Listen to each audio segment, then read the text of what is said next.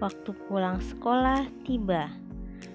Ai dan Mita melihat Angga sedang mengumpulkan sampah. Angga, apa yang sedang kamu lakukan? Tanya Mita. Hai Ai, Mita, aku sedang melakukan aksi. Jelas Angga. Aksi? Tanya Ai. Hmm, aksi itu adalah sebuah kelompok aku, kamu, sayang Indonesia. Kalian mau ikut? Kalau kalian tertarik, kalian bisa datang ke rumahku nanti. Akhirnya Ai dan Mita pergi ke rumah Angga. Betapa terkejutnya mereka ketika melihat banyak sekali kerajinan tangan yang indah.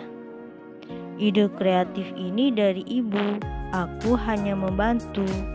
Jika sampah tidak didaur ulang, maka akan terus menumpuk dan itu sangat merugikan bumi. Daur ulang juga menjadikan sampah menjadi barang yang lebih berguna. Menakjubkan, seperti bukan dari sampah. Seru.